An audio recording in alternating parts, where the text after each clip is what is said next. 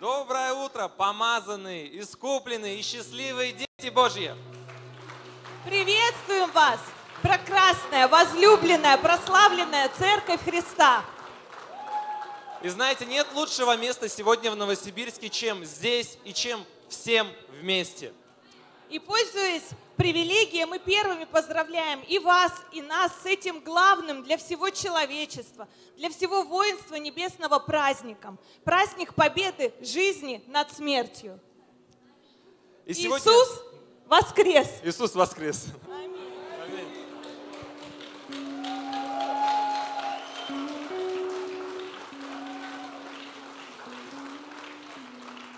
Знаете, мы сегодня с особым трепетом, с особой благодарностью вспоминаем жизнь Иисуса Христа, Его служение людям на земле, Его бесстрашный подвиг на Голговском холме и Его триумфальную победу над всем проклятием, над всеми болезнями, над всеми скорбями. Пасха – это когда Он добровольно выбрал гвозди, чтобы принять нас, свою семью Божью. Знаете, Пасха – это подобно детской сказке, только наоборот. Красавец становится чудовищем, чтобы чудовище стало красавицей. То есть Иисус поменялся с нами местами. Безгрешный обрел лицо грешника, чтобы мы могли обрести лицо святого. Пасха – это когда приговор, вынесенный всем нам падением Адама, был отменен и аннулирован жертвой Иисуса Христа. И это навсегда. Пасха, да.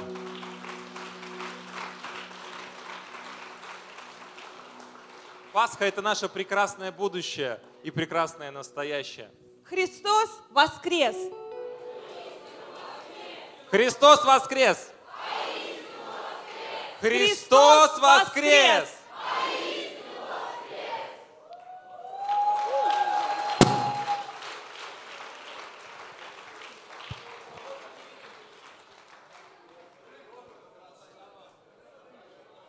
Мы больше не видим причин, чтобы здесь стоять или сидеть. Давайте же славить, благодарить и превозносить нашего воскресшего, воскресшего из мертвых Иисуса Христа. Вы готовы? Вы с нами? Тогда начинаем. Начинаем.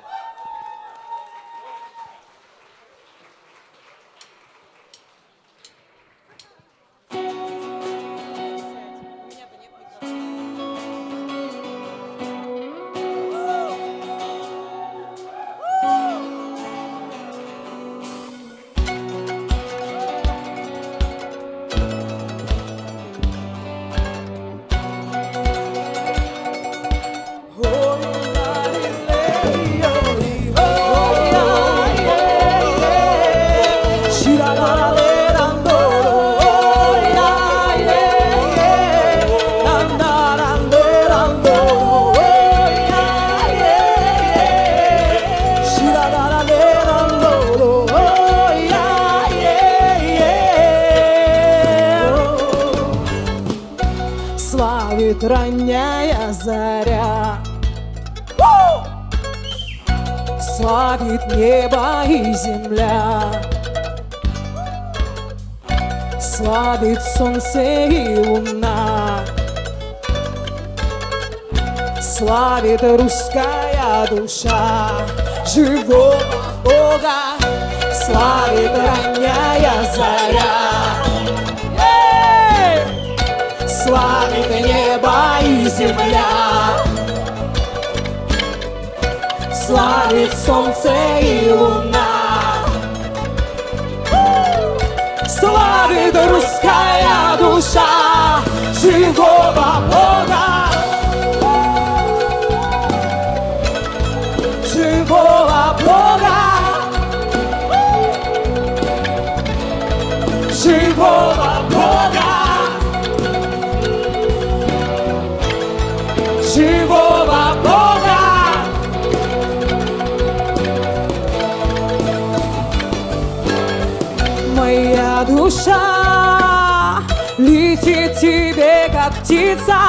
желает она чистой воды напиться в твоих руках. Есть место, где укрыться, любовь твоя не даст мне разбиться в Твоя душа летит тебе,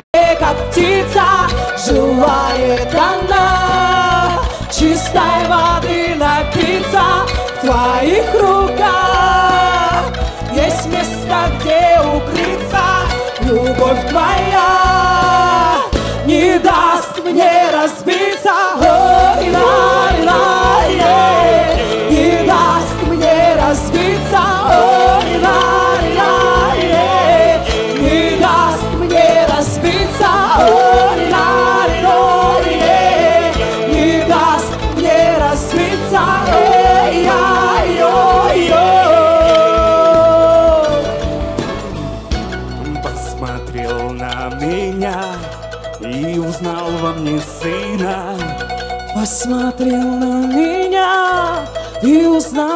мне дочку. Посмотрел на меня и узнал во мне сына. Посмотрел на меня и узнал во мне дочку. Посмотрел на меня и узнал во мне сына. Посмотрел на меня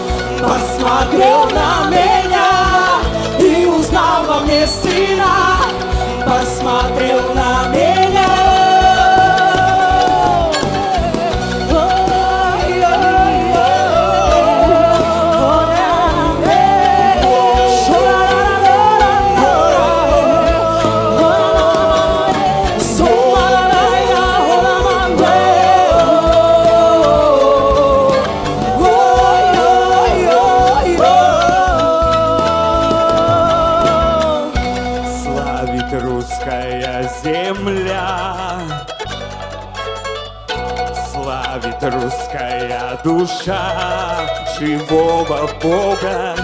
Славит русская земля. Славит русская душа. Славит русская земля, славит русская душа, славит русская земля, славит русская душа живого Бога, славит русская земля.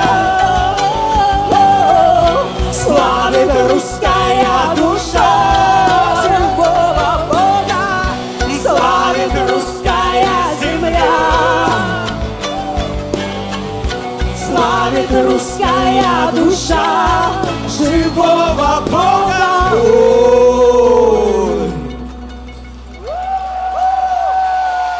Славит русская земля. Славит русская душа живого Бога. Славит русская земля.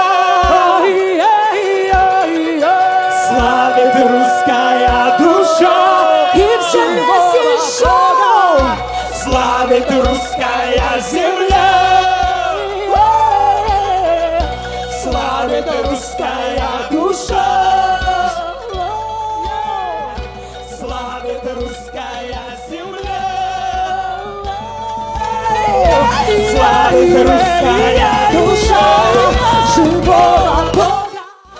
Славит русская земля. Славит русская душа. Славит русская земля.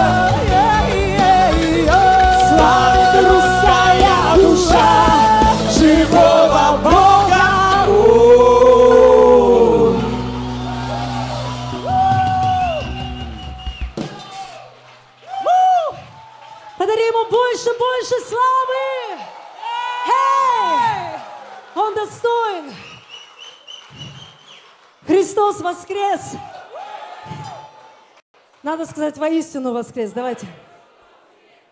Христос воскрес! Христос воскрес! Христос воскрес! И мы продолжаем его славить еще! Аллилуйя!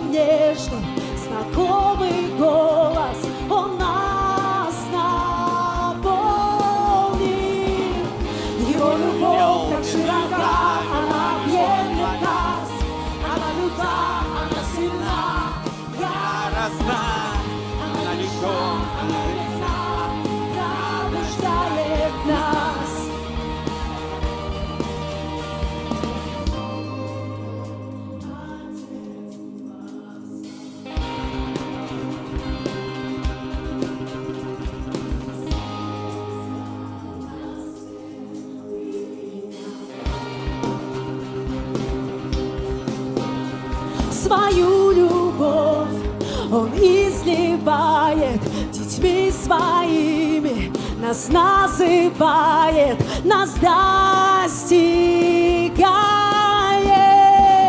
Его любовь так широка, она объемлет нас Она люта, она сильна, яростна Она нежна, она верна, пробуждает нас! Его любовь так широка, она объемлет нас. Она люта, она сильна, яростна, она нежна, она верна, пробуждает нас. Она пробуждает нас. Она пробуждает нас. Она пробуждает нас.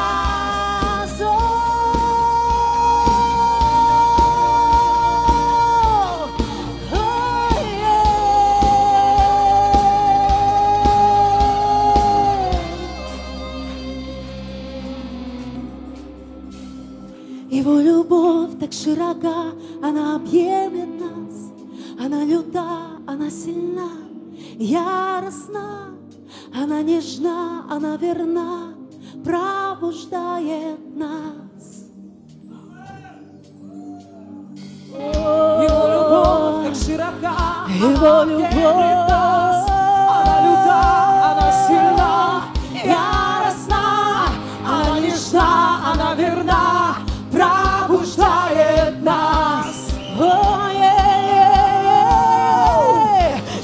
любовь так широка, она объемлет нас.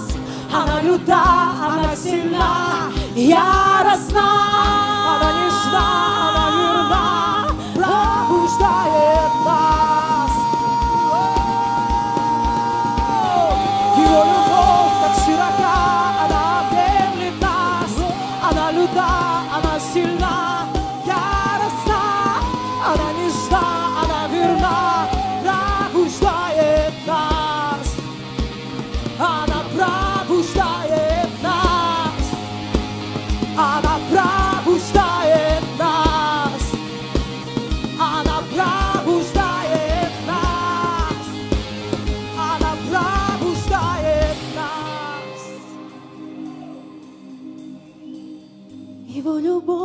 широка, она объемлет нас, она люта, она сильна, яростна, она нежна, она верна, пробуждает нас.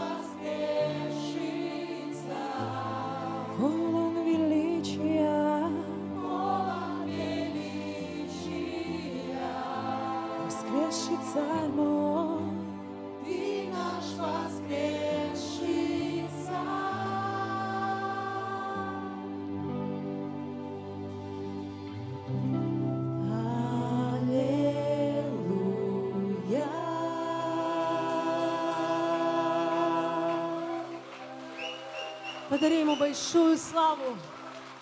Аллилуйя!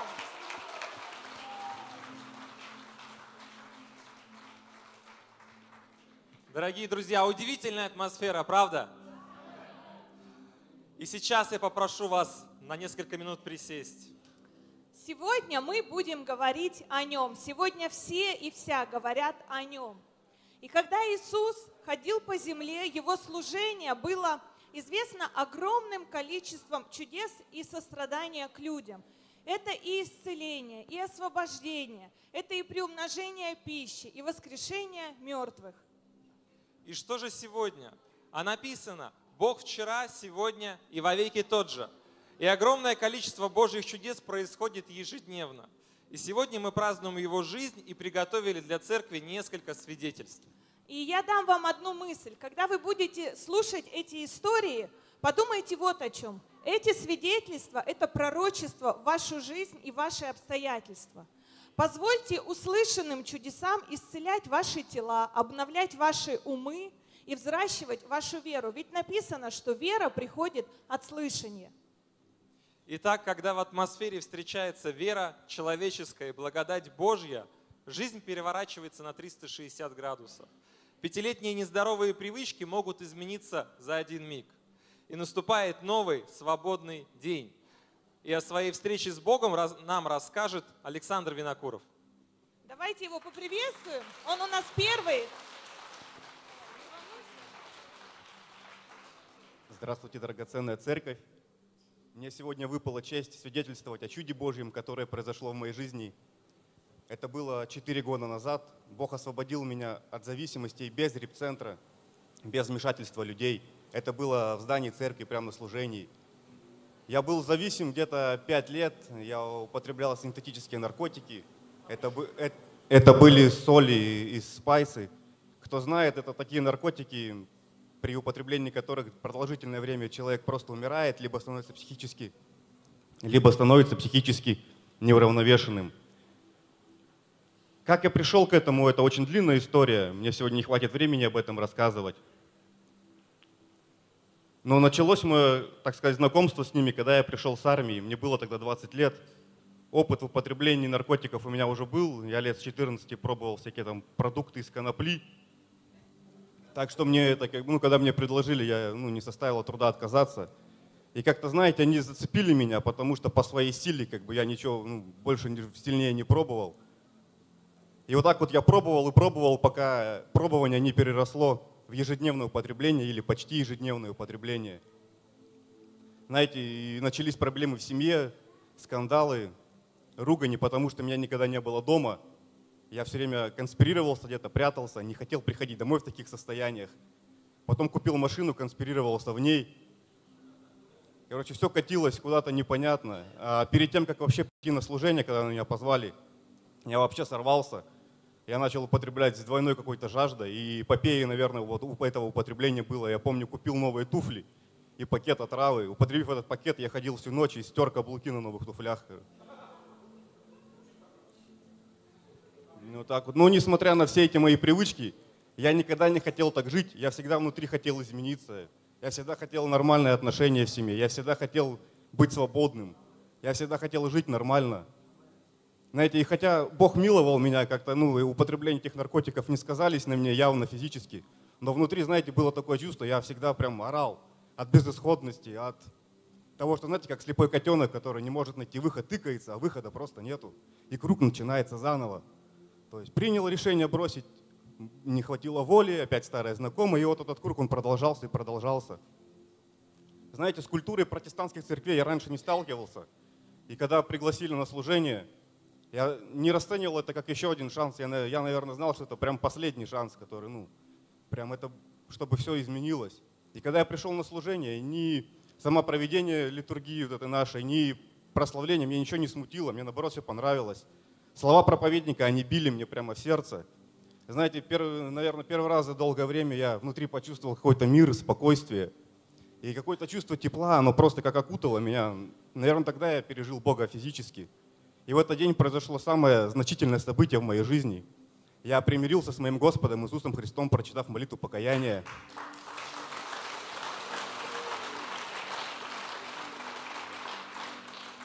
Знаете, я, когда вышел из церкви, это был совсем другой человек. Прощенный, освобожденный, свободный.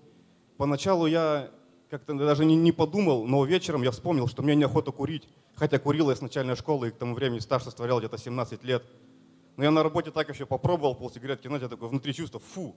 И я просто с тех пор я полностью свободен. В тот день Бог, Он очень сильно изменил мою жизнь. Иисус, Он, знаете, Он прям покорил меня, покорил своей любовью, заботой. Сейчас у меня, я свободен, в моей семье все в порядке, я, моя семья рада, когда я прихожу домой, для них я любящий муж, заботливый отец. Бог, Он как-то продолжает, продолжал и продолжает по сей день миловать меня, благословлять. Конечно, не без трудностей, но тогда Иисус, Он полностью изменил мое сердце, изменил мое мышление. Сейчас я нормальный отец, нормальный муж, служитель церкви, скиния, занимаюсь милосердием – еще там несколькими вещами. Сейчас пробую себя служить на алтаре с инструментом. Бог, Он как-то, знаете, дал видение, планы, цели. И Он дал мне то, все то, что раньше я даже мечтать об этом не мог. То есть я просто раньше хотел быть просто свободным, а тут оказывается столько всего, что это только начало. И как бы и за все надо платить, и не всегда все как бы просто так. Но с Богом жизнь лучше, друзья мои. И знаете, праздник Пасхи – это уникальное время засвидетельствовать о Божьем чуде кому-то, потому что каждый из нас – это свидетельство Божие. В определенных вещах Бог каждого в чем-то освободил, как-то миловал. Ведь свидетельством мы, друзья, побеждаем дьявола и прославляем нашего Бога. Спасибо, дорогие друзья. Спасибо, Александр. Дорогие друзья, если Бог сделал это в жизни Александра, Он может сделать в жизни каждого из нас.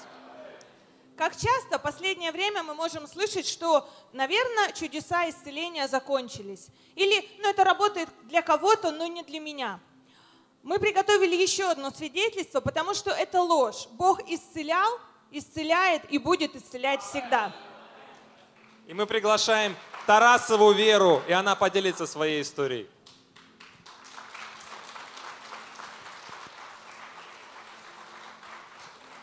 Здравствуйте, народ Божий. Слава Богу. Простите меня за голос, это все Господь делает в молитвенной школе. Слава Богу. А есть моя нога? Есть, да? Я хотела бы... Вот такая моя нога, правая нога, была в начале февраля. Я не знаю, откуда это пришло. Я не падала, я не ударялась. Я независимая, слава Богу, уже 17 лет, но это произошло. Я не могла ходить. Мне подруга моя драгоценная привозила продукты, сын все подносил. Я боялась, я не боялась смерти, я боялась, как моя мама это переживет, как мой ребенок это переживет, если что-то со мной случится. Ну, раздувалась она. Я на нее смотрела и думала, до какой степени она еще может раздуться, чтобы не лопнуть. И настала ночь, я обезболивающих много пила.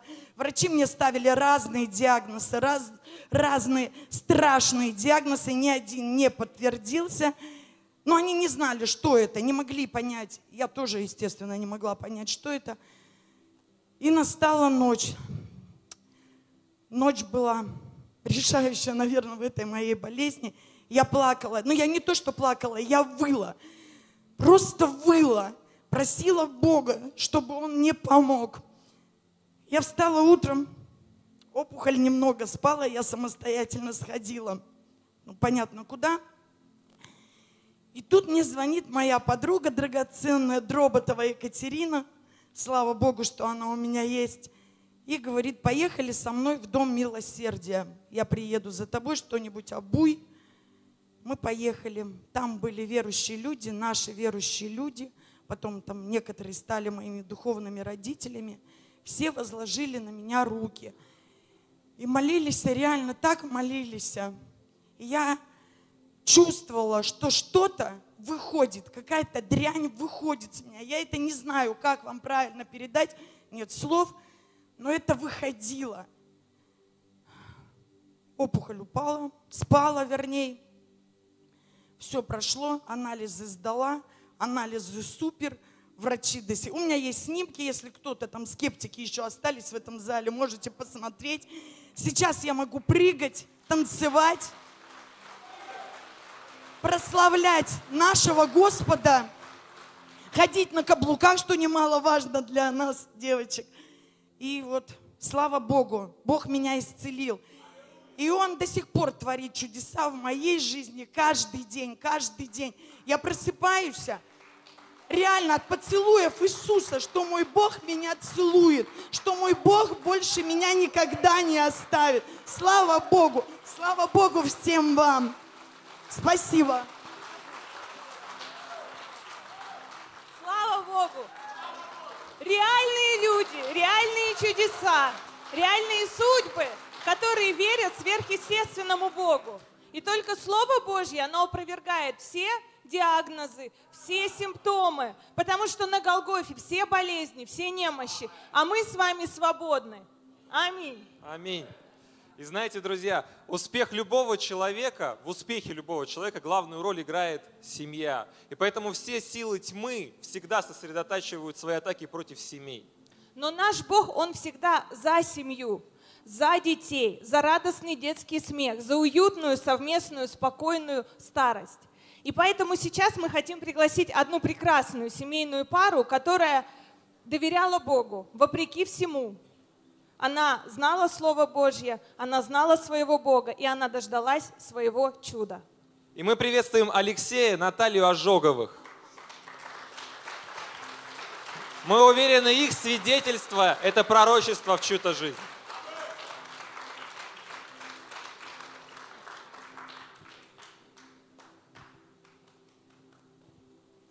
Приветствуем вас, народ Божий. Э,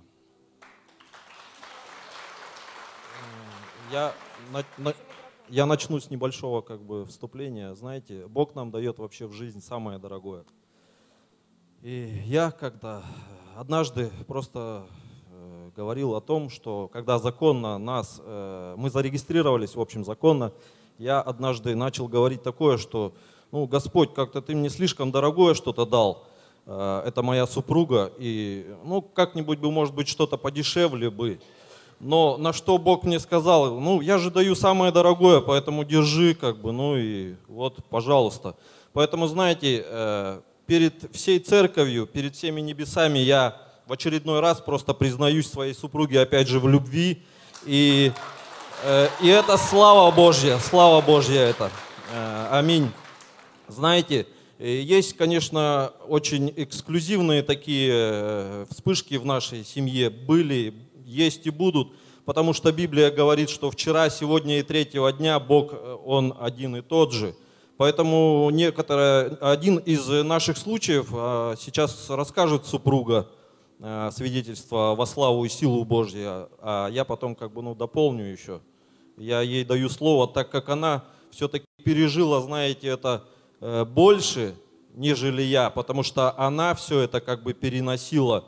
Но я вам так скажу, но прорвались мы на вере э, нашей, но больше моей, я бы так сказал.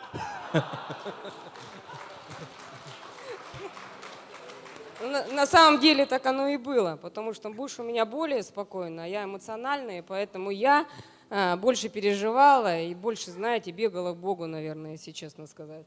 Вот, знаете, а, выйдя замуж, Алексей не сказал, но мы уже практически 19 лет вместе, а с Богом мы 16 лет, уже будет вот 17 лет.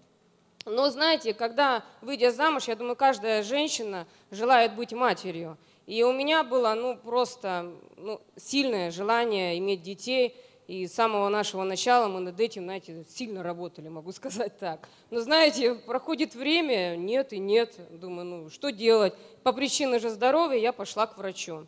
И уже врач э, дал нам направление, центр планирования, семья и брак. И когда мы туда пришли, ну, нам, конечно же, сказали, что первичное бесплодие. Но мы стали а, сдавать все анализы, и уже по анализам а, дали причину. Ну, Сказали причину, что причина в муже, и муж у вас бесплодный. Ну и мы начали проходить курс лечения. Курс лечения, хочу вам сказать, был очень долгий. Был, ну, муж мой такие вещи переживал. А, Знаете, когда я, смотря на него, И выходя, например, с каких-то процедур, он был очень красный. Представляете, мужчину просто, ну, кому-то, если надо будет, можете подойти, он расскажет об этом. Но знаете, я просто говорила, слушай, ну это для наших детей. Все. И он прям это принял, и мы двигались дальше. Знаете, и был, у нас все наши как бы отпуска были целенаправлены на то, чтобы ну, курс лечения проходили, всякие курорты и так далее. И знаете, очередной раз такой курорт у нас был в Белокурихе, и нам врач, мой врач уже тоже лечащий, как бы какие-то процедуры мы тоже проходила, и я, а, чтобы дополнить это все. И она мне сказала просто, Наташ, ну, а, тебе нужно вообще сменить партнера. Я вам хочу сказать, что слава Богу за Бога вообще, и за любовь мужа, потому что я ее, выйдя замуж, всегда ее чувствовала ну, на своей жизни. И знаете, что произошло? Я прям, ну, как бы собралась силами, очередной раз собрали все анализы, приехали в Новосибирск, пришли к врачу, который а, а, очередной раз мы стали делать инсеминацию, и врач мне уже сказала так, собирает вот такая вот кипа у нас анализов, правда, вот такое было вот лечение, что мы проходим, она опять это посмотрев все и сказала, слушай, дает мне все анализы, говорит, Наталья, я не буду браться за ваши, а, ну, как бы, за дальнейшие какие-то процедуры, потому что нет смысла в этом. Не будет у твоего, дети, ну, у твоего мужа не будет детей. И знаете что, здесь в Кине я услышала такие вещи, что дается 3-5 секунд на принятие или, или, как, а, или от, отдать. Отказаться, да, извиняюсь, отказаться. И знаете, уже тот момент говорил мне Бог, и я сразу же сказала ей, я говорю, знаете, говорю, это ложь дьявола, потому что в Библии нет бесплодных мужчин. На тот момент я уже получила это слово, и знаете, я хочу вам сказать, что есть, вот мой муж откроет Библию, 111 псалом, и там есть, открой, пожалуйста, а, просто знаете, тогда на тот момент я уже своего мужа вписала в Библию, и я просто, когда об этом вот, скажу вам, и может кто-то подойдет, я прям покажу вам, что блажен Алексей, боящийся Господа и крепко любящий заповеди Его. Сильно будет на земле семья Его. Я этим словом жила 11 лет. Ну, как слово получила я позже, конечно, да, но получается 5 лет я этим словом жила. И когда нам уже об этом все сказали, ну, врач, и смысла как бы нет, да, но, знаете, знакомых через знакомых и так далее, мне посоветовали очень хорошего э, врача, уролога, профессора – и, в общем, он ждал моего звонка, э, передали ему все анализы. И как бы, так как он очень ну, как бы дорогой, ну, мы, конечно, уже собирались идти. И он мне просто сказал, я ему звоню, когда, и он мне так говорит, Наташ, он говорит, ну, извините, но я не буду браться за ваше дело. Ваш муж бесплодный, нету смысла, вам только эко и то. Ну, ну думаю, что попробуйте на эко. И знаете, мы опять, ну, как бы посоветовавшись с мужем, мы приняли решение, мы пошли к пастору, в той церкви, где мы были, и пастор наш благословил на эко. Мы пришли домой с мужем. Я, знаете, мне кажется, я самая счастливая на тот момент была. Но представляете, вот э, утром став, такая счастливая женщина, мой муж выходит из молитвенной комнаты и говорит, дорогая, мы делать эко не будем. Бог мне сказал, и еще говорит, что и по врачам мы больше ходить не будем. Бог мне сказал, что у нас будет ребенок. Вот. И уже И вот уже и через год мы забеременели, слава Богу, и вот наше свидетельство стоит. Хочу вам сказать о том, что мы 11 лет его ждали, и пришли в церковь, 8 лет мы за него молились, и вот такие вот мы процедуры проходили, испытания. Ну, не знаю, это благословение, знаете, потому что в этот период времени хочу вам сказать, что мы стали ближе к Богу, ближе стали друг к другу. Конечно, Алексей еще расскажет, что были и другие моменты. Но все же я вам хочу сказать так, что Бог, Он чудесен. Я не знаю, как вам сказать, вот есть такое выражение «рвал когти». Я рвала сердце просто в этот момент. Но, но доверяли. Аллилуйя. Да, все, что говорила супруга моя, это правда. Я это подтверждаю, я этому свидетель. Знаете, э, еще э, хотел бы один момент обозначить в нашей семье. Это именно тот момент, э, когда встает вопрос сохранения семьи. И знаете, вот если в твоей семье именно конкретно встает вопрос сохранить семью или нет, тогда у Бога для тебя один ответ. Прощение и однозначно сохранение, потому что в этом Бог.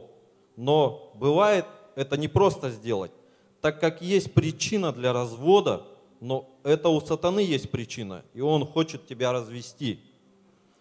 А, Бог здесь как бы, ну, вообще ни при чем. А, Смотрите, а, Бог, Он вообще в любом случае даст вам сил через свое прикосновение, потому что в близости есть сила Божья. Он хочет, чтобы вы вместе служили Ему, поэтому двое стали одной плотью. Бойся потерять свою семью, но я, знаете, говорю как. А, Я давным-давно уже никого не боюсь, кроме жены, и то больше потерять.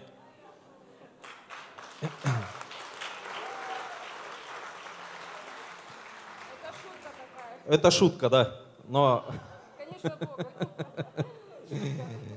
Смотрите, вот теперь немного личного. Ну, как бы мы уже раз свидетельствуем. Смотрите, самые сильные негативные эмоции, э, которые переживает человек, их две. Это говорила пастор Евгения на библейской школе восхождения. А, э, Это смерть ближнего человека, да, и развод в жизни семьи. Э, Развод в своей жизни мы пережили в начале хождения нашего с Богом, это где-то 2005 год был примерно, но на то время мы как бы развелись, э, подумав о том, что все-таки, может быть, мы попробуем порознь, но э, как бы у нас ничего не вышло, и спустя где-то года полтора э, мы опять вместе решили быть, и Бог э, пришел и опять нас благословил, потому что в этом тоже есть Бог, как бы. Э, Смотрите, э, про то, что э, самую негативную одну из эмоций мы пережили, и поэтому я как бы высвобождаю сейчас то желание нашей семьи, которое есть у нас, это в глубокой старости умереть вместе э, в один год, в один день и по возможности в одну минуту, дабы не переживать вот именно вот это первое эмоцию сильную негативную. А, Да, и знаете, э, в конце я хотел бы маленечко рассказать об Иисусе, потому что свидетельство это в любом случае для Него, для славы и для силы Божьей. Знаете, когда э, фарисеи подошли к Иисусу э, с тем вопросом, искушая Его, э, возможен же ли вообще развод? Ну, я как бы своими словами буду говорить. На что Иисус им сказал, а что вам сказал Моисей? Они сказали, что, ну да, можно раз- разводное письмо писать и разводиться. Но Иисус э, их повел в бытие и сказал, что когда э, муж оставит своих отца, мать, он прилепится к жене своей, и двое будут одной плотью. Поэтому э, в Марка в 10 гл- главе, в 9 стихе, он э, как бы и сказал, что и так, что Бог сочетал, человек да не разлучу. Ну, не- вот так. Спасибо всем. Спасибо вам Спасибо вам. за искреннюю и открытую историю без масок и без прикрас. Вы еще не устали? Нет, ну знаете, у нас все по Писанию. Ведь написано, что если описать все истории, которые совершил Иисус, то не хватит ни одной книги. И весь мир не вместит эти книги. И у нас найдется время еще для одной истории. И о какой сфере жизни мы еще не говорили, как вы думаете? О финансах, об экономике. И мы хотим уступить микрофон Виталию Кирсанову. Это человек, у которого, мне кажется, финансовые чудеса происходят везде. В семье, в бизнесе, в творчестве. Он однажды нам достал какую-то штуку, которую мы вообще не могли достать. Три года или четыре. В общем, он делает все из ничего. Пожалуйста. Аллилуйя.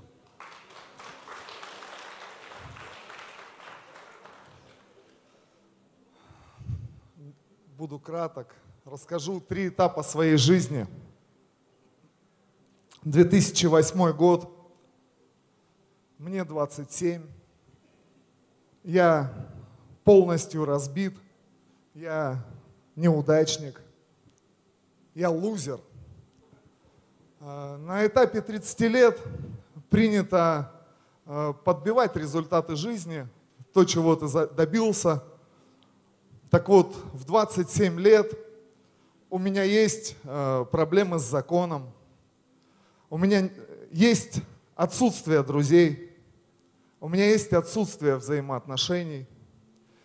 Я на окраине Новосибирска сижу в комнате 12 квадратов, у которой отключено электричество, у которой обрезано отопление, у которой разбито окно, она на первом этаже, и люди, которым я был должен денег, кстати, у меня еще много долгов, у меня еще есть долги, люди, которым я должен был денег, они приехали, долго ждали меня, не дождавшись, они нашли только то, что прострелить мне окна, и окна у меня тоже с отверстиями, как и вся моя жизнь. Я сижу, а, думаю о своих сверстниках, ровесниках, которые, как я считал, что они неудачники, было такое слово «лох». В школе мы их называли «лох». На тот момент у них есть семьи, у них есть дети, у них есть работа, их уважают, почитают в обществе, у них есть доход, это нормальные люди. А я на пороге 30 лет сижу разбитый, одинокий, никому не нужный, и чувствую, что наверняка я скоро умру. Потому что однажды, придя к моей сестре, родная сестра старшая, она мне говорит, Виталь, ты меня извини, но я тебя домой не запущу, я тебя боюсь. Я отвернулся и ушел. А, встретившись с матерью однажды, она тоже сказала, она говорит, Виталь, ты столько проблем нам приносишь. Может быть, ты умрешь, мы один раз поплачем и успокоимся, чем жить в ужасе на протяжении множества этих лет. Это был первый этап моей жизни, о котором я хотел сказать. Был еще второй этап. За 10 лет до этого, пусть хронология будет нарушена, это 2007 год, мне 17 лет. Нам кажется, что мы цари жизни. Это, да, 97, 98 год. Нам кажется, что вся жизнь принадлежит нам.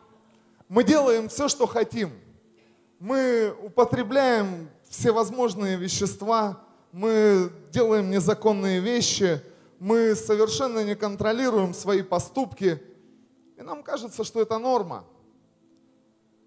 Но, как вы поняли, через 10 лет результат оказался тот, что я сидел у дырявого окна, в дырявой одежде, с дырявой жизнью, не имея ничего. И наступает еще третий этап моей жизни. Господь избрал меня. Он постучался в мое сердце.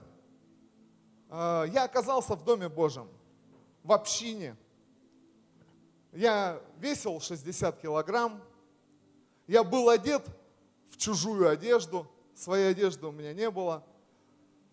У меня был огонь в глазах, у меня был огонь в сердце, у меня был кров над головой, у меня было питание и братья и сестры вокруг.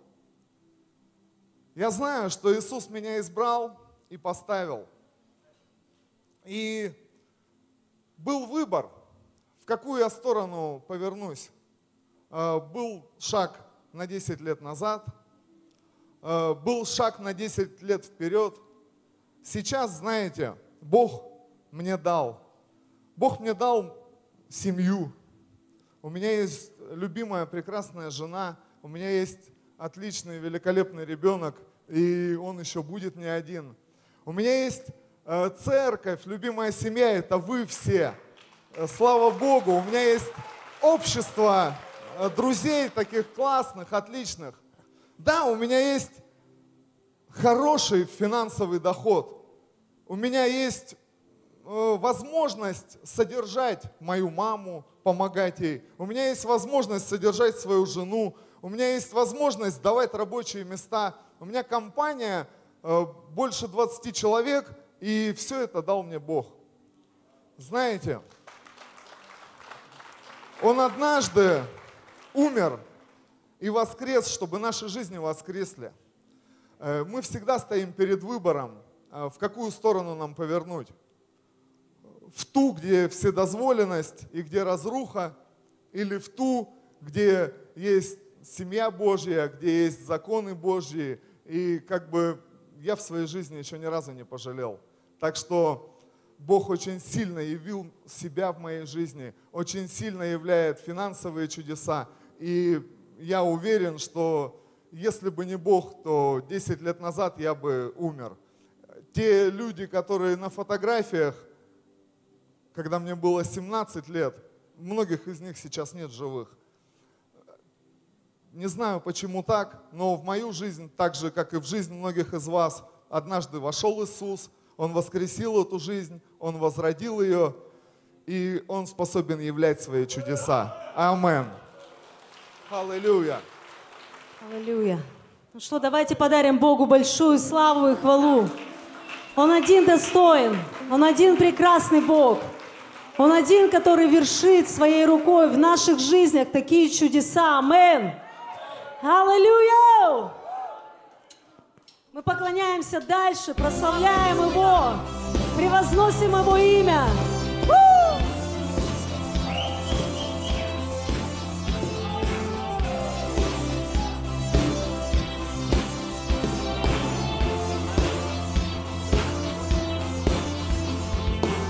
Кто грех повергнул, лишил тьму силы, и чья любовь все победила. Это царь славы, это царь всех царей.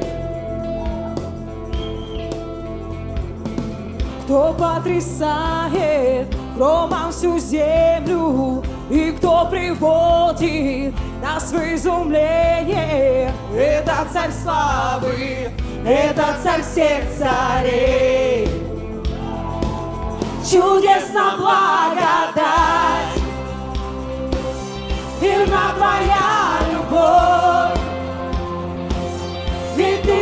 тяжелый крест. Вместо меня понес Свою ты жизнь отдал Чтоб был свободен я. О, О том, что сделал ты Я буду петь всегда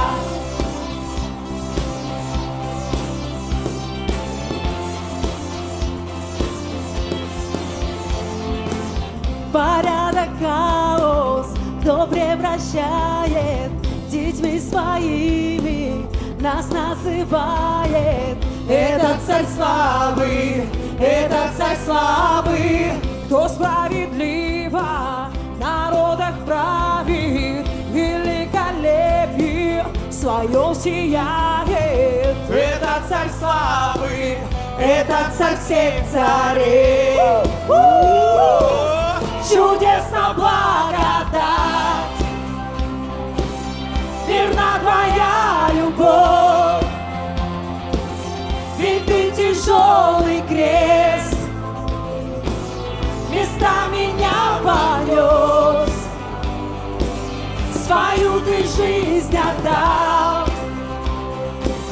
чтоб был свободен я. О, О том, что сделал ты, я буду петь всегда.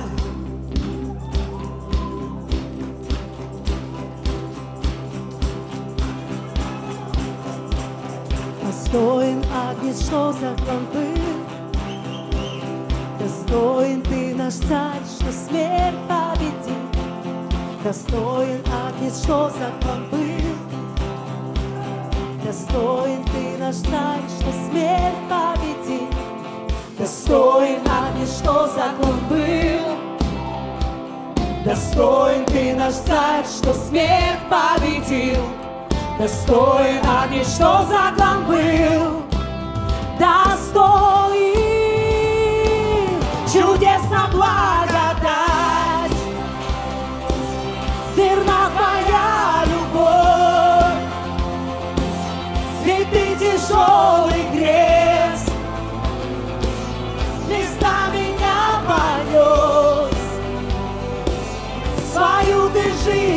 дал, чтобы свободен я. О, о том, что сделал ты, я буду петь всегда. Я буду петь всегда. Я буду петь всегда. Я буду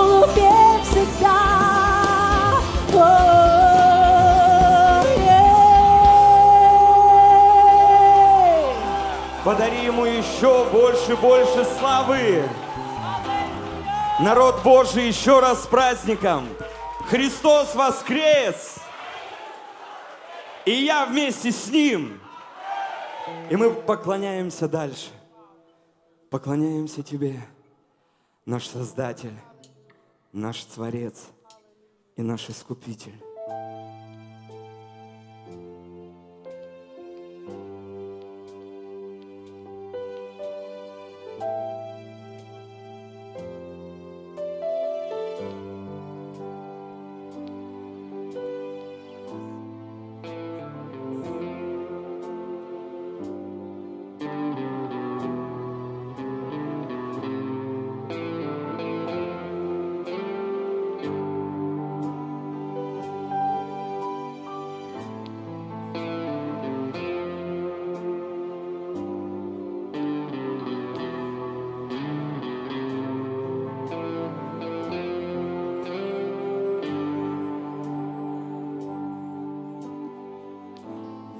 Небеса проповедуют славу Твою. О делах Твоих рук вещает земля. Нет места нигде, чтобы Ты, мой Бог, не вел меня, Ибо я знаю, в Тебе укроюсь я. Проповедуют славу Твою. О делах Твоих рук вещает земля. Нет места нигде, чтобы Ты, мой Бог, не вел меня. Ибо я знаю, в Тебе укроюсь я.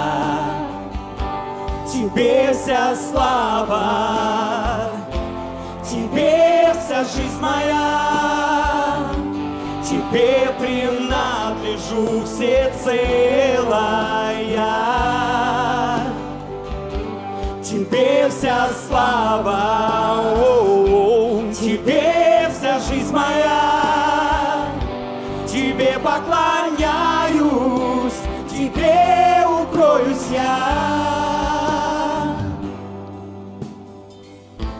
Земля полна Твоей славы, Ты Творец всего, я знаю.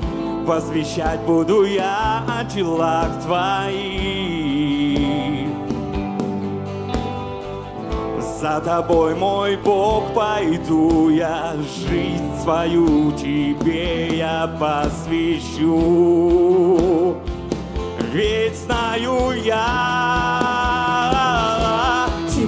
вся слава, о, Тебе вся жизнь моя, Тебе принадлежу всецелая.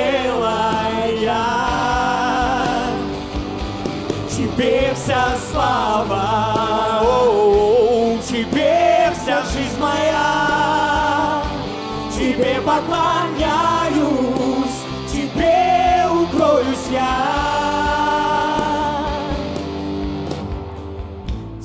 слава неба и земли поют Тебе в смирении. Достоин, достоин Ты.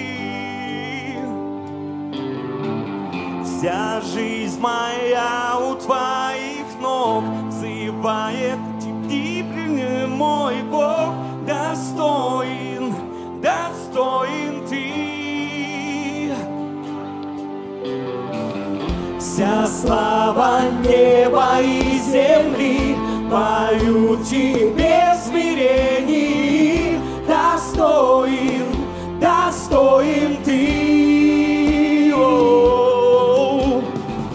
Вся жизнь моя у твоих ног взывает прийти ко мне, мой Бог. Достоин, достоин ты. Смирении. слава неба и земли поют тебе в смирении. Достоин, достоин ты. О, Вся жизнь моя у твоих ног Взывает, приди ко мне, мой Бог достоин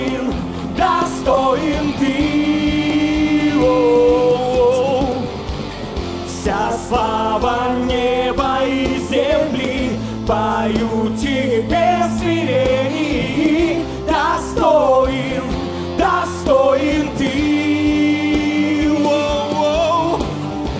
Вся жизнь моя у твоих ног Взывает,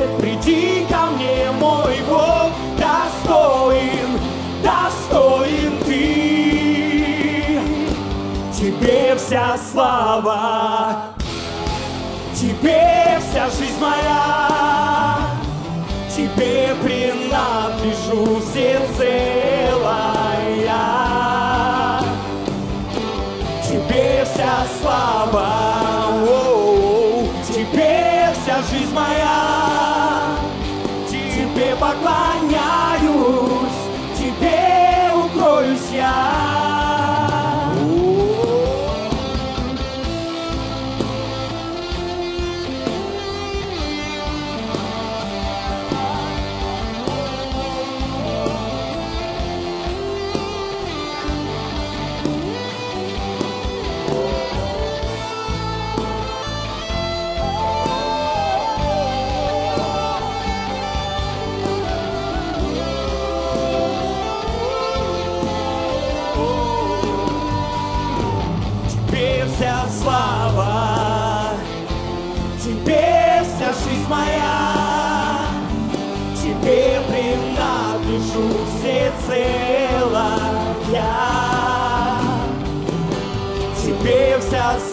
слава, тебе вся жизнь моя, тебе поклоняюсь, тебе укроюсь я.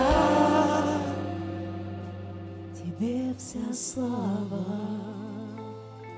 тебе вся жизнь моя, Тебе принадлежу всецело я. Тебе вся слава, Тебе вся жизнь моя, Тебе поклоняюсь, Тебе укроюсь я. Мы поклоняемся Тебе. Аллилуйя. Подари Ему еще, еще больше. Он достоин. Достоин сегодня принять всю честь, всю славу, всю хвалу от нас. Мы поклоняемся Тебе, Иисус. Спасибо Тебе. Иисус, вначале Ты был Словом, со Всевышним было одно. И слава скрытая в творении, в Тебе явилась наш Господь. Твое имя прекрасно, Бог, Твое имя прекрасно, Бог. Ты Иисус Христос. Твое имя прекрасно, Бог. Ни с чем не сравнить его. Твое имя прекрасно, Бог. Иисус, Господь мой.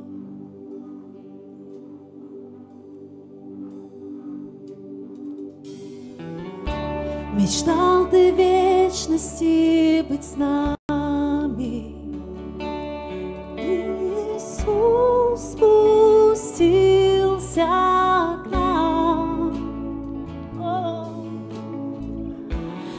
Твоя любовь покрыла грех мой.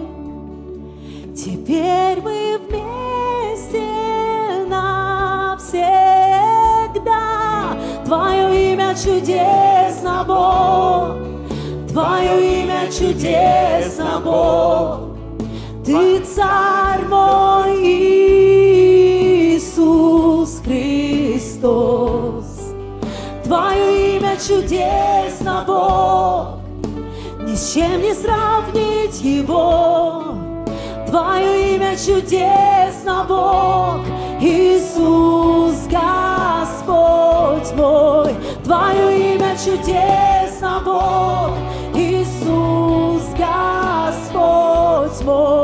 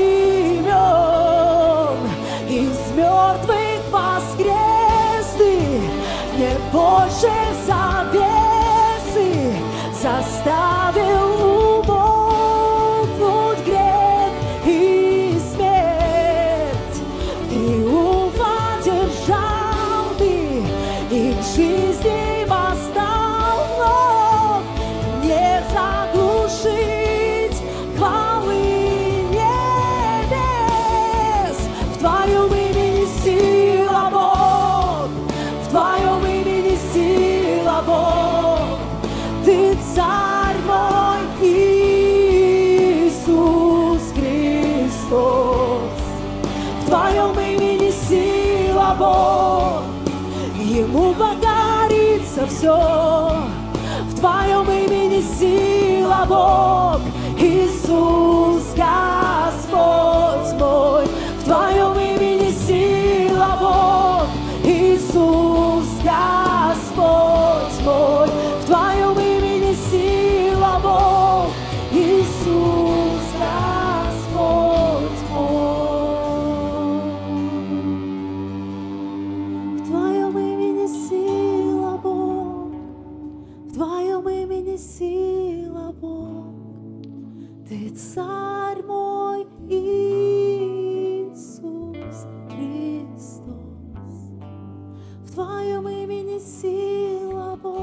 Давайте поднимем свои руки и поблагодарим Его за Пасху. За то, что Он и есть Пасха наша, Христос, закланный за нас. Пасха совершается прежде всего за нас, чтобы изменить нас самих. Пасха – это твое и мое воскресение для новой жизни. Пасха – это когда мы принимаем жертву Иисуса, который совершил наше прощение. И мы можем прийти к Голговскому кресту и отдать туда все свои грехи. Мы можем прийти к Голговскому кресту и отдать туда все свои болезни. Мы можем прийти к Голговскому кресту и отдать туда все свои проклятия. И сделай это сейчас. Так написано, что Он сам вознес наши грехи своим телом на древо, чтобы мы жили для правды, и ранами мы, его, мы исцелились. Когда мы приходим туда, к кресту, и мы отдаем свой грех, внутри нас что-то меняется, совершается эта Пасха. И мы начинаем жить по-другому, жить для правды. жить для чего-то святого, жить для Бога. Меняется наше мышление, меняются наши внутренние чувства, меняется мотивация нашей жизни. И точно так же, как Дух Святой воскресил мертвого Христа, поднял из могилы, Он наполняет наши жизни, Он наполняет все сферы нашего бытия. Он отваливает все камни от наших могил, чтобы мы могли выйти на свободу. Это и есть Пасха. Пасха – это победа Бога над грехом. Пасха – это победа жизни над смертью. Пасха – это победа Божьих прогнозов над человеческим скептицизмом. Пасха – это когда сам Бог протягивает руку помощи и говорит, я возлюбил тебя вечной любовью, и поэтому отдал за тебя Сына Своего, чтобы ты не погиб, но имел жизнь вечную. Мы не привыкли к бесплатным подаркам. Мы всегда думаем, что бесплатный сыр лишь в мышеловке. И поэтому нам так трудно принять этот дар спасения. Потому что мы с вами считаем, что за все нужно платить. Твоя жизнь настолько ценная, что Божий Сын, украшение неба, жемчужина небес, спустился и стал человеком. Прожил 33 года в ограниченном человеческом теле. Я представляю, как вот эта сверхъестественная природа периодически пыталась вырваться из него. Как периодически он хотел проявить свою божественность, но написано, он смирил себя. Был послушен Отцу. И потом он взял крест, на который ему нужно было вознести грех каждого из нас. Что такое грех? Грех это даже не всегда поступок. Грех иногда это мысль. Грех – это иногда твоя неправильная мотивация. Грех – это все то, что уводит тебя от Бога. И именно из-за греха в сердце человеческом стоит престол сатаны. И поэтому многие из, вас, из нас пленены определенными зависимостями. Многие из нас не могут справиться с неправильной мотивацией, и нами владеет злая похоть, зависть, чувство мести – Желание непонятной справедливости, потому что внутри нас еще есть грех. И сегодня этот пасхальный день, когда Бог хочет забрать твои грехи на крест. Он говорит, тебе не надо самому расплачиваться за себя и за свои ошибки. Тебе не надо приносить цену своих страданий или какого-то отречения. Просто отдай это мне, потому что я пришел, чтобы ты не погиб. Именно грех ведет к смерти. Когда человек долгое время живет во грехах нераскаянных, то это лишает его жизни. И человек начинает высыхать внутри себя, высыхать в своих эмоциях, высыхать в своем теле, высыхать в своей радости. Он не имеет мира, он испытывает стыд, он испытывает страх, он испытывает волнение, он испытывает одиночество и тревогу. Это все говорит о том, что еще грех нераскаянный есть в сердце. И это открытая дверь для смерти. Но Иисус пришел, чтобы победить смерть. И сказал, я хочу, чтобы вы имели жизнь и жизнь вечную. Что, такое, что такое жизнь вечная? Это ты, когда ты понимаешь, что вся жизнь, она сокрыта в Боге. И когда ты с Ним, когда ты погружен в Него, а Он погружен в тебя, когда ты пребываешь в Нем – ты наполнен Его жизнью. Ты наполнен радостью. Ты наполнен миром. Ты наполнен любовью. И праведность Божья дает тебе смелость и дерзновение, чтобы действовать. И все эти праздничные служения имеют лишь одну цель. Чтобы еще хотя бы несколько людей пришли к этому Голговскому кресту и приняли ту цену, которую Бог заплатил за спасение – Представляете, насколько ценная жизнь каждого из нас, если Бог ее так дорого оценил. Не золотом и серебром мы искуплены, но драгоценной кровью Божьего Сына. Агнец Божий, который висел на кресте, страдая ради нас, терпя поношения, плевки, оскорбительные слова. Его раздевали перед всеми. Написано, воины плевали ему в лицо и били по голове. Его обвиняли в богохульстве, распяли позорной смертью, положили в гробе. Но написано, Бог не оставил его души в аде и не дал святому увидеть тление. Но однажды, на третий день, пришла сила Святого Духа, которая отвалила этот камень и которая подняла Иисуса на небо. И нам сегодня больше не стоит бояться смерти, если мы спасены, потому что мы понимаем, что не только в этой жизни мы можем рассчитывать на Бога, что в вечности мы тоже будем с Ним там, потому что это и есть вечная жизнь. Воздайте Богу славу.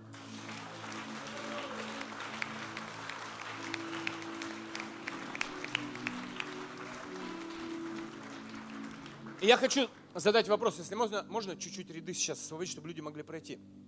Если ты здесь, если ты пришел первый раз, и ты чувствуешь, что ты еще живешь во власти греха, во власти смерти, ты чувствуешь, что негативные эмоции очень сильно мучают и преобладают над тобой. Может быть, ты чувствуешь, что болезнь тебя поражает. Болезнь – это тоже последствия греха. Когда твои грехи будут прощены, многие болезни автоматически уйдут, и ты больше никогда о них не вспомнишь. Или ты чувствуешь, что ты здесь на земле уже живешь как в аду, и тебе нужно прощение твоих грехов. Потому что нераскаянные грехи, они тянут тебя вниз и открывают ворота смерти. Я хочу, чтобы ты пришел ко мне сюда для молитвы. Давайте мы воздадим Богу славу. И мы приглашаем всех людей, которые пришли сюда первый раз. Освободите проходы, пожалуйста, чтобы мы могли видеть. Если ты пришел первый раз, и тебе нужно прощение грехов – Пожалуйста, придите сюда. Давайте будем аплодировать и приглашать этих людей. Еще, еще, еще. Добро пожаловать. Еще есть люди, я уверен. Это день твоего спасения. Ты уйдешь отсюда сегодня, и начнется новая страница твоей истории. Ты долго жил без Бога, пытаясь доказать Ему и сам себе, что ты справишься, но ты не справляешься. Ты, может быть, чувствуешь, что жизнь уходит из-под контроля – и ты больше не можешь сам управлять некоторыми процессами, потому что есть какие-то вещи, которые сильнее тебя. И ты уже находишься в плену. Позволь Богу разрушить твой плен и вывести тебя из всякого рабства. Позволь крови Иисуса омыть тебя от греха и дать тебе безопасность и стабильность. Позволь Богу вместе с тобой сражаться с твоими проблемами и решать их достойно. Давайте мы поаплодируем. Еще есть люди, я уверен. Приходи сюда.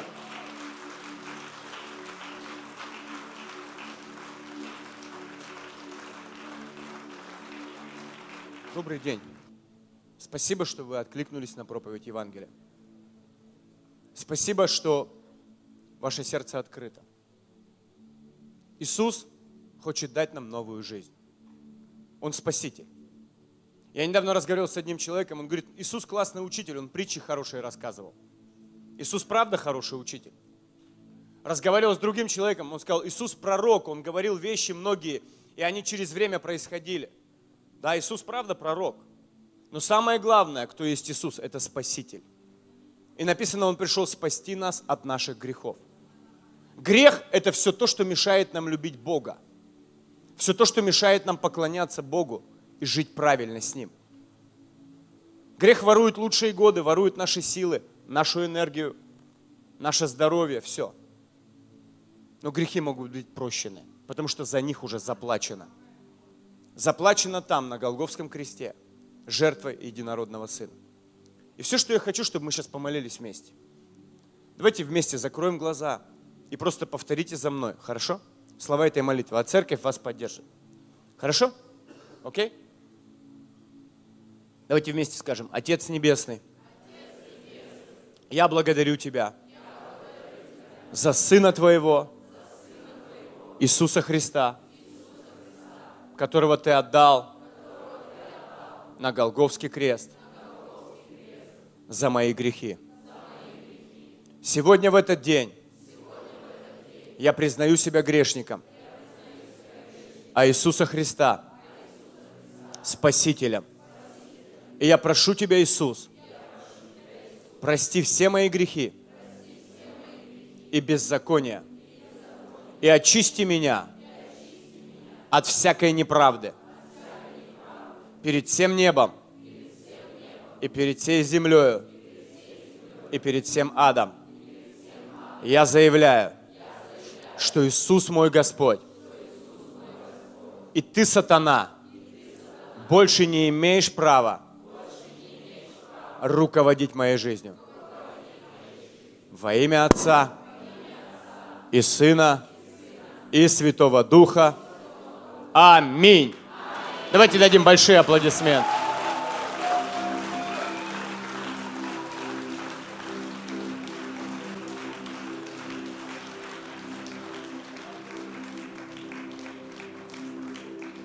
Там есть Библия, там есть информация о церкви. Если вы захотите, вы можете посещать нашу церковь или любую другую. Но знаете, в этот день вы встретились с Богом. И в вашей жизни начнутся перемены. Может быть, у вас будет этап, когда вы несерьезно это воспримете, уйдете жить прежней жизнью, но Бог вас больше никогда не отпустит. Вы теперь будете видеть знаки, вы теперь везде будете чувствовать Его любовь. И всякий раз Он будет прикасаться к вашему сердцу и звать вас к себе – Потому что вы стали его собственностью сегодня. Вы больше не собственность дьявола, не собственность греха. Вы теперь собственность Господа Иисуса Христа. И давайте мы три раза их благословим.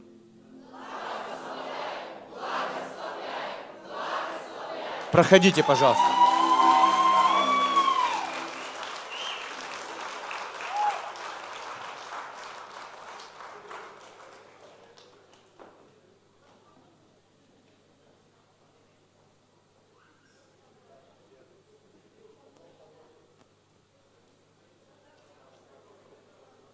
Я понимаю, что уже сегодня много говорили. Я ровно три минуты буду проповедовать сегодня. Можно?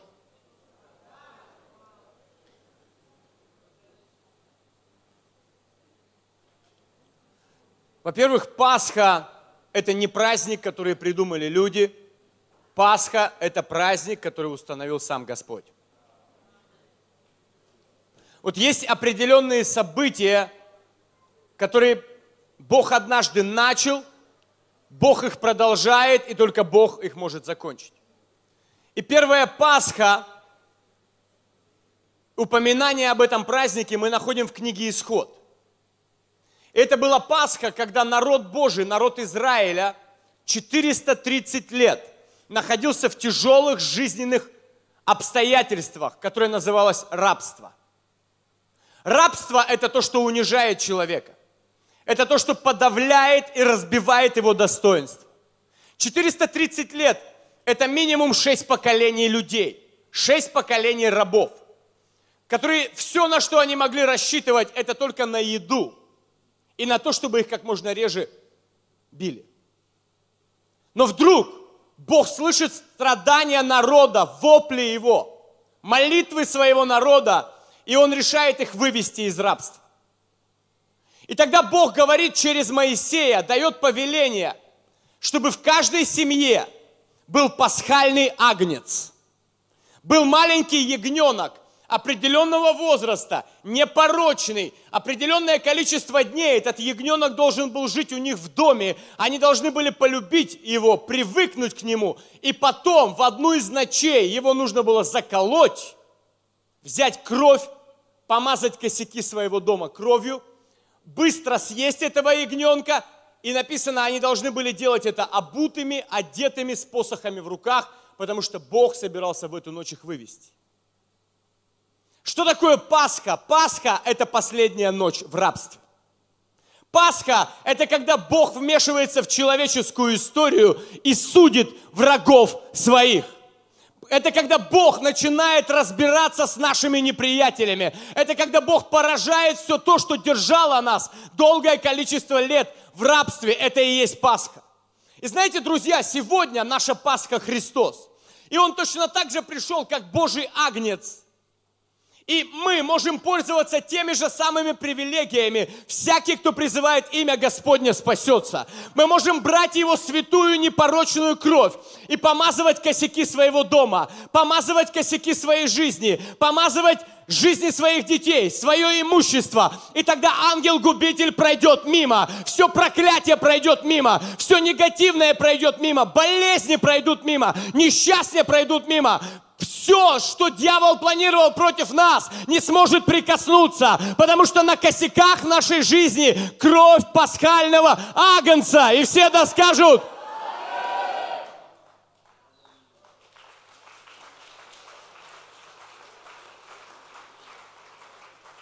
Итак, его кровь обеспечивала спасение и безопасность. Но знаете, там написано, его надо было кушать. Его надо было кушать, и его надо было с поспешностью съесть всего. Это говорит нам о том, что, друзья, мы не просто должны быть спасены, мы должны съесть Господа. Однажды он взял хлеб и вино и сказал, кушайте, это тело мое, ломимое за вас. Да? А это кровь завета. Это значит, что мы должны регулярно, во-первых, читать Божье Слово – во-вторых, иметь регулярные постоянные отношения с Ним, потому что только тогда, когда мы вкушаем от Господа, меняется наше сердце, меняется состояние души, и вообще все вокруг нас начинает меняться. Скажите на это Амен.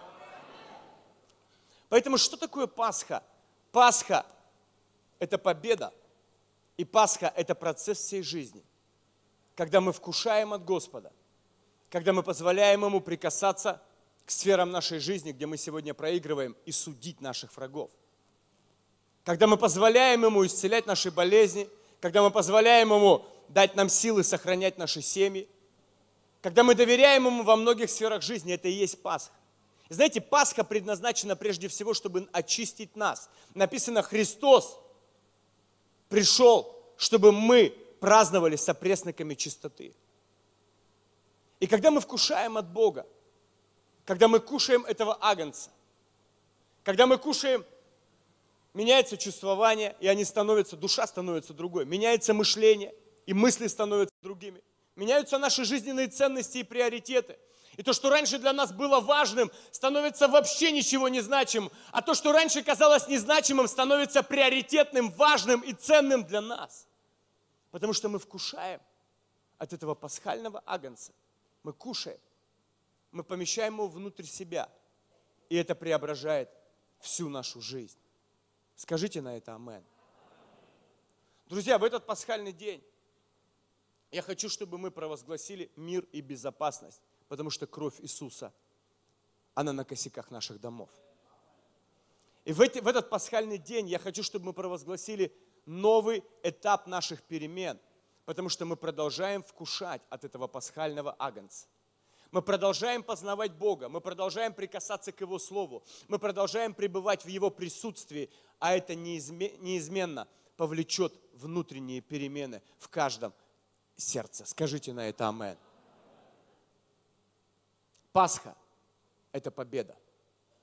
И знаете, еще самая большая и самая сильная победа была в том, что когда люди похоронили Иисуса – Положили его в могилу, привалили большой камень, повелели стражникам охранять. Там была печать на этой могиле, потому что они боялись, что ученики его ночью украдут. То на смиренных людей, людей, которые смирили себя перед Богом и стали Ему послушны, всегда сходит сила Святого Духа и Божья благодать. И написано в то утро – когда весь мир застыл, и дьявол, глупый дьявол, думал, что Иисуса победил, вдруг сила Божья, которая всегда жила во святилище храма, евреи так считали, но когда Иисус умирал, завеса в храме разорвалась, и эта сила вышла из храма. И эта сила носилась, и написано, многие мертвые воскресли, землетрясение было, разные-разные процессы, которые вызывала эта сила. И эта сила вошла в эту могилу и воскресила Иисуса из мертвых. Знаете, я знаю периодически, что у каждого из нас бывают моменты, когда мы тоже мертвы.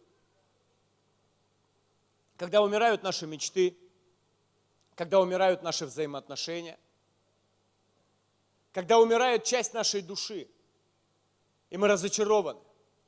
Но я хочу тебе сегодня сказать, если ты послушен Богу, и если ты смирен перед Ним, как Иисус, ты можешь рассчитывать на силу воскресения. Потому что Библия говорит, та же сила, которая воскресила Иисуса из мертвых, она воскресит и наши мертвые тела. Все то, что умерло, оно может воскреснуть, потому что нам доступна сила Святого Духа. И Бог способен расторгнуть узы любой смерти, узы любой депрессии, узы любого поражения и вытащить тебя из твоей могилы и вновь поднять вверх. И все да скажут, это сила Святого Духа. Друзья, давайте пользоваться тем, что нам дано. Нам дана любовь Отца, Бог возлюбил нас. Давайте жить в этом. Нам дана благодать Иисуса. И Он сказал, приходите ко мне и меняйте свои грехи на мою праведность. Меняйте свои беззакония на мою чистоту. И давайте пользоваться силой Святого Духа, которая дана нам как сила воскресения. И когда что-то умирает, не торопись это хоронить, не торопись приваливать туда камень, а призови туда силу Святого Духа – и ты увидишь, как Дух Святой способен воскрешать все то, что уже три дня находится в гробе. Христос воскрес. Христос воскрес. Христос воскрес. Кровь Его на нас и на наших домах. Мы будем вкушать от Него каждый день и меняться внутри себя. И если что-то умрет, мы знаем, как это воскресить, потому что нам доступна сила воскресения. Это сила Святого Духа, и все да скажут.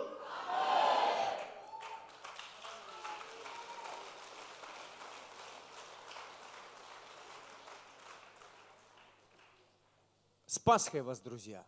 И помните, это не яйца, не куличи и не кролики. Это сам Бог, который отдает своего Сына, чтобы никто из нас не погиб но чтобы каждый из нас имел вечную жизнь и взаимоотношения с Ним. Отличного дня! Да благословит вас Господь! Иди домой с пониманием, что Христос воскрес.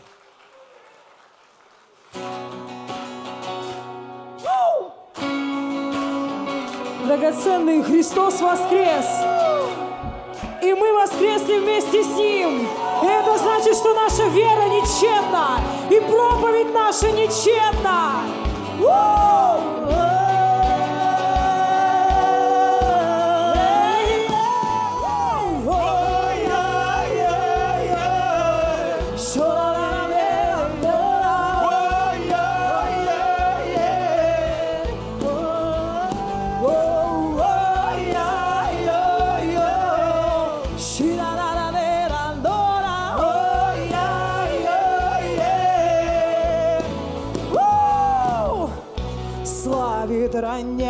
заря.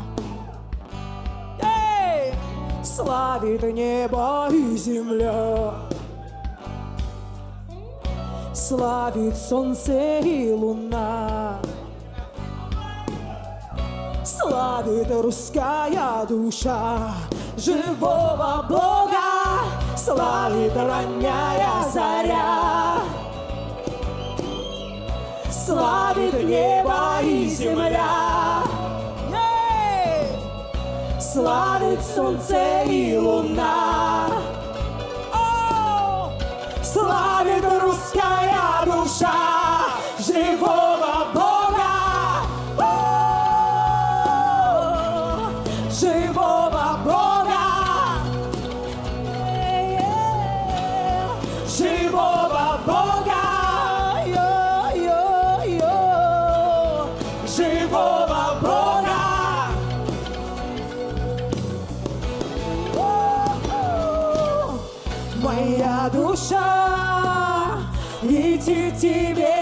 птица, желает она чистой воды напиться в твоих руках. Есть место, где укрыться, любовь твоя не даст мне разбиться. Моя душа летит к тебе, как птица, желает она чистой воды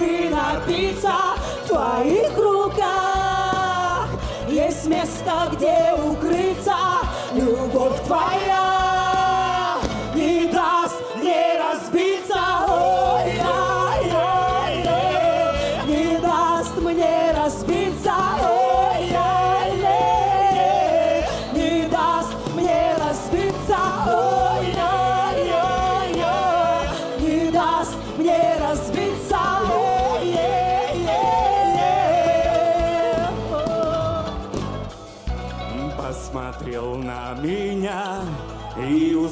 мне сына.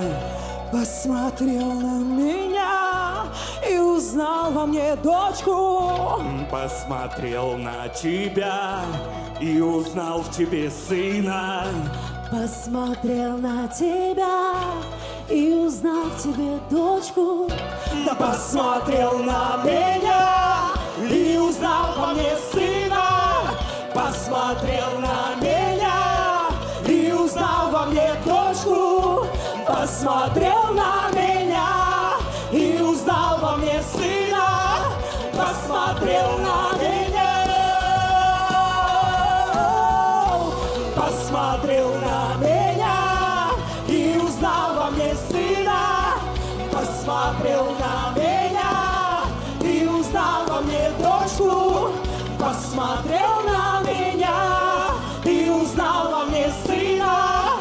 Посмотрел на меня.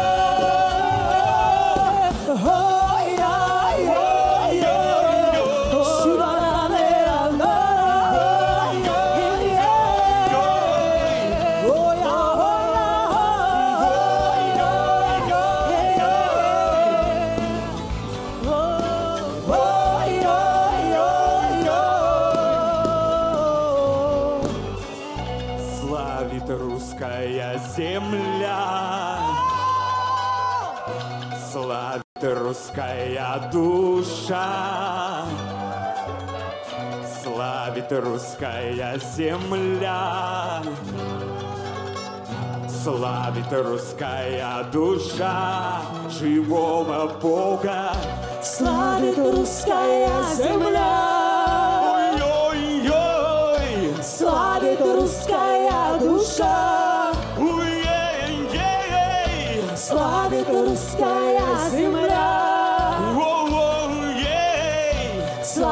русская душа живого Бога. Славит русская земля. Славит русская душа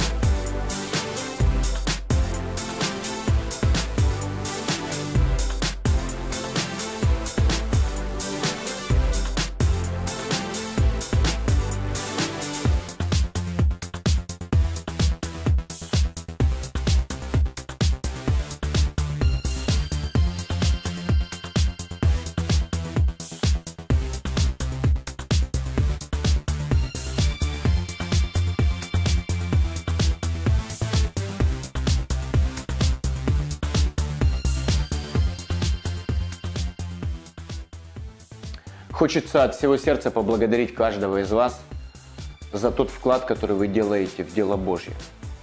Очень важно понимать, что кто-то верит в тебя и верит в те дела, которые ты совершаешь на этой земле. И всякий раз, когда приходит от вас а, пожертвование, это знак того, что вы верите тому делу, которое мы совершаем. Это вдохновляет нас продолжать. Спасибо вам большое за ваш вклад. Без вас мы бы не смогли делать такую большую работу. Да благословит вас Господь.